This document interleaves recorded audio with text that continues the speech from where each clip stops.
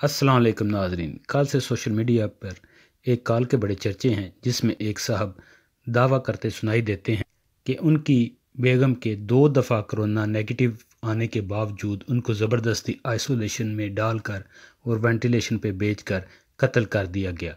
आइए हम आपको वो कॉल सुनाते हैं। शेर व शायरी इस्लामी वीडियो सैर सयाहत एंटरटेनमेंट हालात हाजरा और कानूनी मामला के लिए सब्सक्राइब करें मेरा YouTube channel Chaudhary Nadeem Akhtar.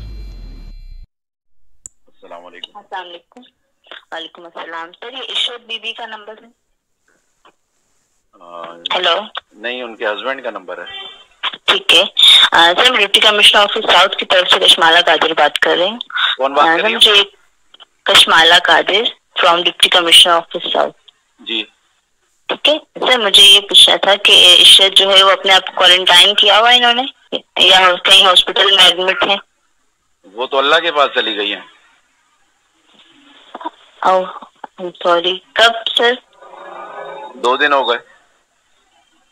Corona की वजह से डेथ हुई है? नहीं नहीं कत्ल किया गया उनका। क्या मतलब? मतलब ये कि रिपोर्ट नेगेटिव आने के बाद ज़बरदस्ती कोरोना में उसको घुसा कर और आइसोलेशन में रख के और उसको वेंटिलेटर पे डाल के मार दिया गया उसको। कहाँ पर? मेरे पास प्रूफ है मेरे जेब में अभी भी लिए लिए फिर रहा हूँ लेकिन कोई सुनवाई नहीं है कहीं पर भी। मेरे पास रिपोर्ट है दोनों एक भी नहीं उनको एक पे डाउट हुआ कि नहीं भाई ये जो अलामत है ये कोरोना की है। मैंने कहा भाई अच्छा। ये अच्छा। रिपोर्ट तुम्हारे सामने आई हुई है जियाउद्दीन के। उन्होंने कहा अच्छा। हम दूसरा टेस्ट कराएँगे दूसरा कराया वो अड़तालीस घंटे में रिपोर्ट आई वो भी नेगेटिव आई। नहीं। नहीं हाँ। फिर भी नहीं नहीं नहीं।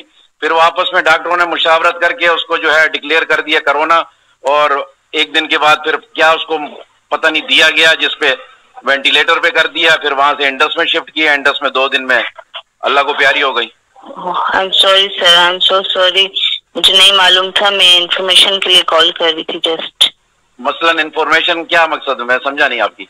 सर मुझे नहीं मालूम था रेड का सॉरी मुझे जस्ट मैं कोई इस WhatsApp इन्फॉर्मेशन के तो लिए कॉल कर रिपोर्ट भी दे दूँ आपको वो जो नेगेटिव के हैं वो भी बता दूँ। होना तो खैर कुछ नहीं है। नहीं सर ये तो ऑफिशियल नंबर है सॉरी मैं तो ये तो वैसे कुछ नहीं कर है सकती। फिर भी मैं एक तो अब पता नहीं दिल कैसे ठंडा करूँ। आप लोगों का जो फ़ोन आ जाता है तो कहीं ना कहीं दिल का गुबार निकाल लेता हूँ।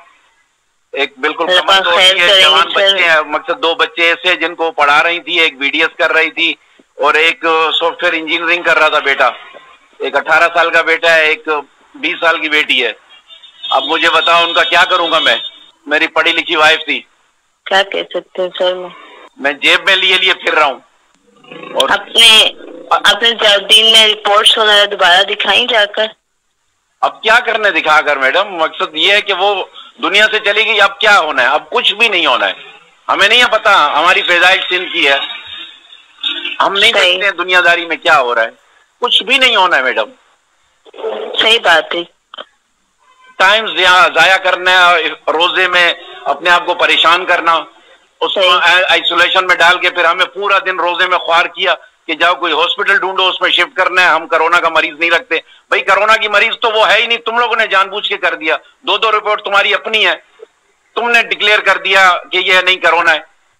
मुझे बताओ ना वो रिपोर्ट तो बताओ मुझे जिसमें तुमने ये कोरोना वो रिपोर्ट तो दो ये नेगेटिव तो चलो मैंने किसी तरीके से आप लोगों से निकलवा लिए। मुझे पॉजिटिव वाले भी तो जरा दिखाओ ना। सही। लेकिन नहीं वही हुआ हमसे तो कहीं हो नहीं सका भाग दौड़ हमने की वो। इन्होंने भाई वो इंडस में रात में एक बेड का इंतज़ाम कर दिया और वेंटिलेटर की हालत में शिफ्ट किया। वहाँ शिफ्ट करने के दो दिन बाद वहाँ से फिर एक अलग लॉलीपॉप मिलता रहा। दो दिन उन्होंने वीडियो कॉल पे इशारतन बातें करवाई हमारी। बस वो दो दिन के बाद जो है रात दो बजे बुलाया डॉक्टर ने जो काउंसलिंग करते हैं बोला भाई आप लोगों को पता है आप क्या था भाई क्या था? वेंटिलेटर पे थी और जहाँ पर ना हो सकी और अल्लाह। अल्लाह पाक आपको सुबह मैं अपने पूरे इलाके के मेडिकल स्टोर और जितने छोटे छोटे क्लिनिक है सबको मैंने हाथ जोड़ जोड़ कर कहा है कि जो भी आए मरीज़ बराए मेहरबानी यहीं इलाज करो। किसी बड़े अस्पताल में रेफर ना करें किसी बड़े अस्पताल की तरफ़ ना भेजें। पता नहीं ये कौन से अपने कोटे पूरे कर रहे हैं, इंसानों को मार मार कर, और ये भूल जाते हैं कि इनको मरना नहीं है।